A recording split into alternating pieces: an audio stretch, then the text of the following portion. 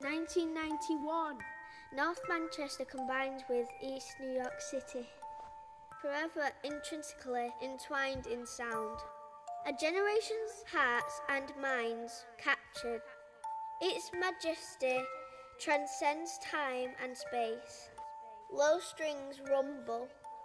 They soar off into an infinite horizon.